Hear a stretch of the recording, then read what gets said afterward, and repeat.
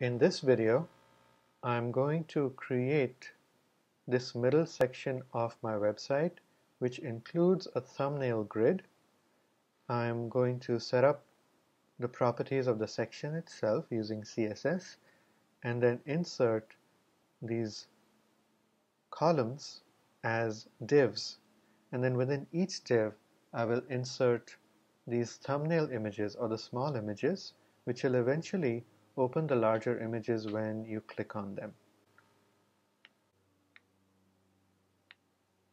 For my CSS designer I will click inside my section and then I'll add my selector. Now sometimes you don't see the plus button for the selector active. So you just need to go click on sources. Because we have web fonts already in this website, we have styles coming in from the web, web font also. But I want to add these styles into my CSS file that I had created. So I click on style.css and then you notice the plus sign to add a new selector appears. I'm going to collapse the sources panel and then go ahead and add a selector for section. Now you notice Dreamweaver says body section, but of course I have only one section and it is inside my body, my page body. Where else would it be? So I remove the word body and the selector will still work. It will still apply to this section of my page. For my section, uh, it's full width. So I'm going to set the width to 100%.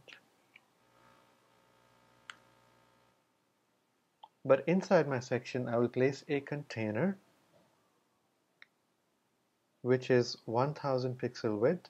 So it'll line up with my header container and eventually my footer container will line up with them too. So the section itself is full width or 100% and it has a white background. The container will have a width of 1000 pixels. Now by default, if you don't specify a background color for your page or for any portion of your page, the default background color that the browser assumes is white. Since my section is white, I don't really need to specify a background color. But let's say your section is a different color. In that case, for your section with uh, the selector chosen, you would go up to the background properties and then choose a background color from here. Since mine is white, I don't really need to do it. I could of course just choose white from here. That's the hex code for white. Uh, but as you can see, it still looks the same. So whether I have this or not, it'll still look white. So moving forward, I'm going to add a container inside the section. So I come down to my code area. I click inside my section. In fact, I can even uh, remove this placeholder text. Now my cursor is blinking inside the section. This is the place that I want to insert my container. So I go up to insert, div, and give it a class of container and click OK. So I inserted a div of class container and the div appears here inside the section. Now here's the thing. Because it has a class of container and earlier when I created the header, I made a div of class container there and I assigned it some styles which were a width of a thousand pixels and a left and right margin of auto which meant to center it on the page the same styles will automatically apply to this new container that's the advantage of using a class when you have more than one div on your page that shares the same properties the class will make it so much easier to set properties for all of those divs and then if you make one change then all the containers or all the divs that share the same class will get updated. So this new container already has a width of a thousand pixels and it will be centered on the page. I can go ahead and start adding some content in there. So looking at my wireframe, I've chosen to create my grid so that it is in columns, which means every little thumbnail image has the exact same width, but they have different heights. So I've stacked them one on top of each other so they will all share the same width and become one column. And then I have five such columns. So as you can see now I have five divs sharing the same kind of properties so I can use a class to create this. I'm going to insert a div and create a new class for column inside my section container. So I will delete this text where it says content for class container goes here And now I'll go ahead and insert a new div. At insertion point is good, and then I give it a class of column. I'm going to use the same column structure on my inside pages as well. So once the work is done for my home page, it'll be easy to replicate to other pages. Now you can see inside my container I have a new div of class column and then some placeholder text that says content for class column goes here. Now since I want five columns, I'm going to copy this line of code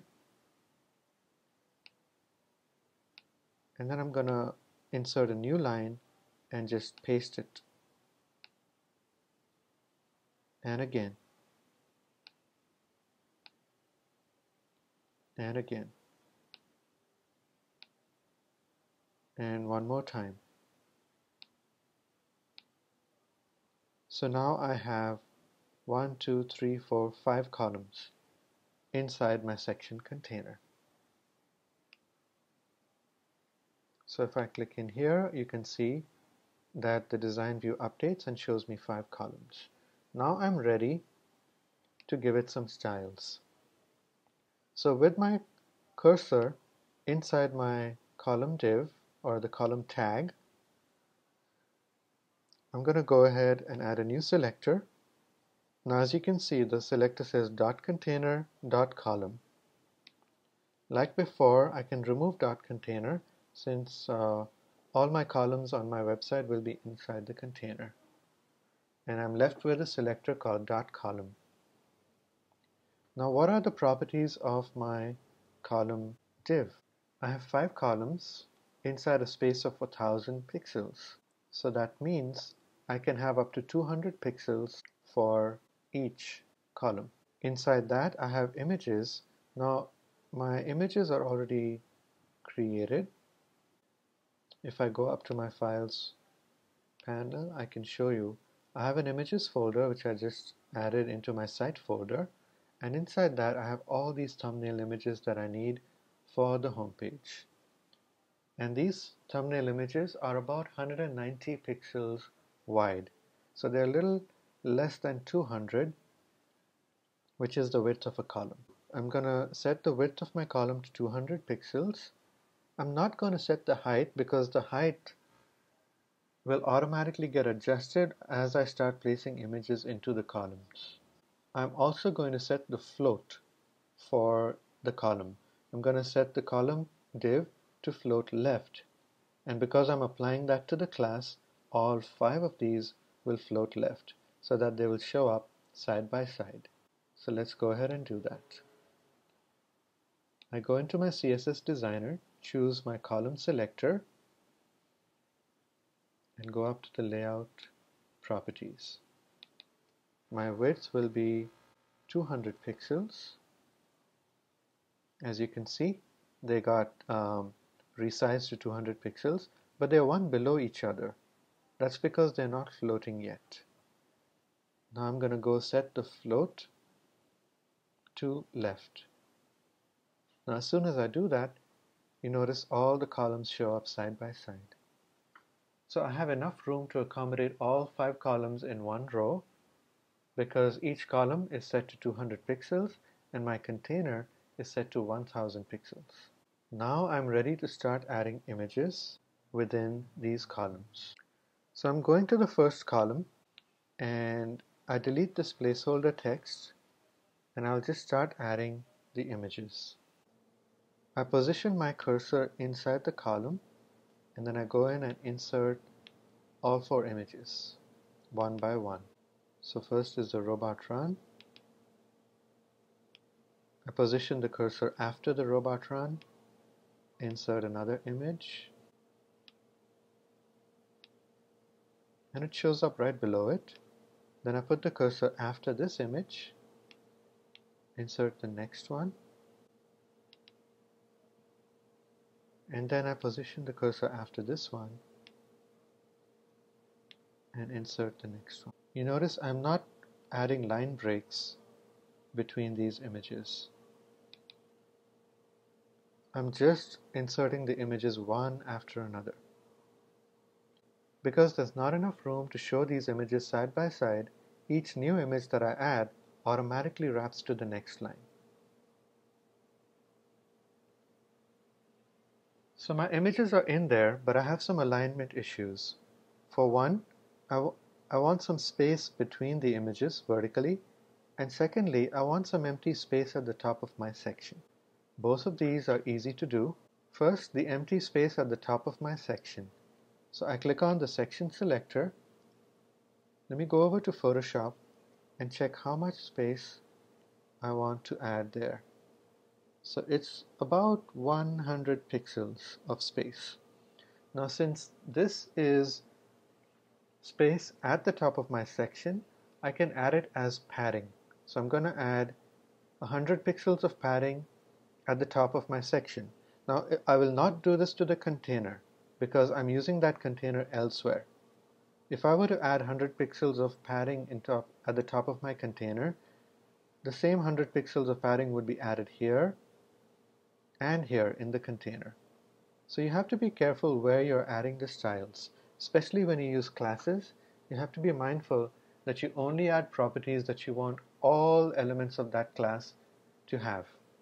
In this case, I don't want all containers to have a top padding of 100 pixels. So I will not add the style there. I will add the style into the section itself. So I choose section here and in my layout properties I go to padding and make sure that this link is not on because I just want to set the top padding not the others. And then I go in and type 100 pixels. Now in Dreamweaver when you're typing these dimensions if you don't add a unit just type the number and hit enter. It will choose pixels by default. So I just type 100 hit enter and it assumes 100 pixels. Now here I've got the new 100 pixels of space above my section, which is great. Now I want to add some space below these images. So for each image, I have about 10 about 10 pixels of space there. So here's what I'll do. Since every single image inside my column div needs to have this, I can just create one CSS rule that applies to all images inside columns, and then every single image will have the 10 pixels of space below it. So watch this. I just click on the image, and I go in and add a selector for it. Now you can see the selector says dot container dot column img, which means this selector applies to all images inside all divs of class column inside all divs of class container. As before, I can remove dot container, but I do need to keep column because I have other images on my page too. I don't want every single image to have a bottom margin of 10 pixels, only the images inside my columns. So this is the perfect selector now, which says all images inside all divs of class column. So with this selector chosen, I go in and add a bottom margin of 10 pixels and that does it. You notice I only added it once but every single image in this column has the 10 pixels of space below it. And because my images are about 190 pixels but my column is 200, I have a little space to the right. So I'm going to go ahead and add the images for the other columns. So second column, I just delete this and then I'm going to go through and add all the thumbnail images.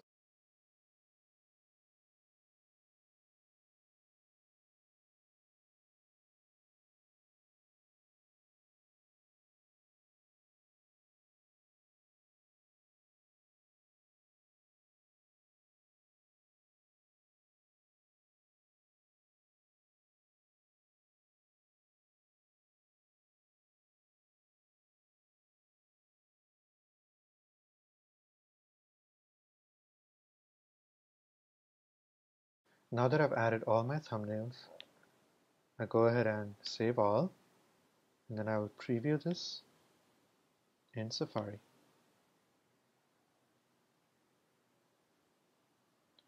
So there you see. My thumbnail grid is ready. Simply by adding the right classes, it made the job so much easier. Now I do see one change that I want to make. I feel like the space between at the bottom of each thumbnail is too much. So I'm going to update that now. So that's easy. I'm going to go to dot column image, which is the selector for all images inside columns. I'll go to the bottom margin and I'll bring it down to about, let's try 9. So I'll save all again and then preview. Okay, so I could reduce it a little more. I'm gonna bring this down to 8 and save all and preview. Let's reduce it a little more. Let's do 7.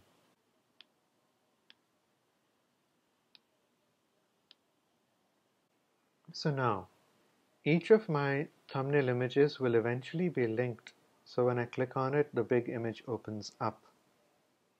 For now, I'm just going to go through and assign dummy links. So I'll go to each image. I'll keep the properties window open.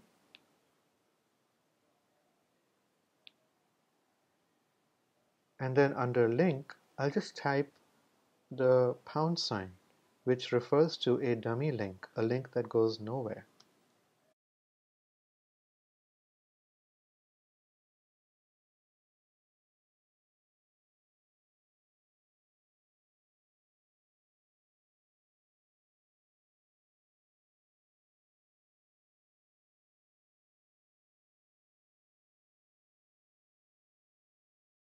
So now all these images have a dummy link assigned to it. So now I'm going to add a little hover effect for all of these images. So when my mouse hovers over them, there's a little bit of a change visually and it adds a little more interactivity to the site. So I'm going to click on any one image, doesn't matter, because the same rule will apply to all images.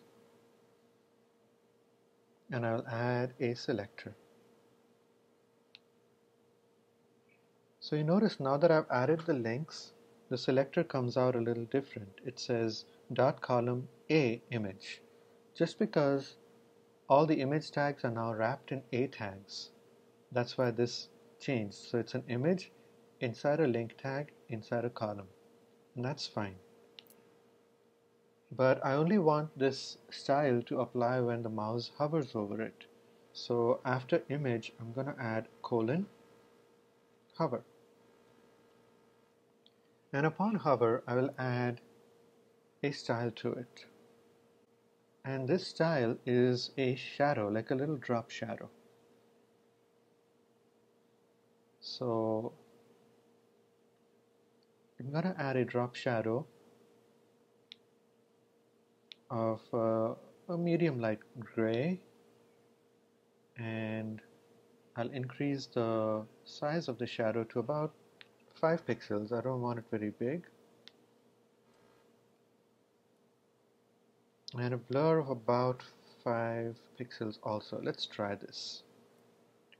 So I'm going to save all and preview.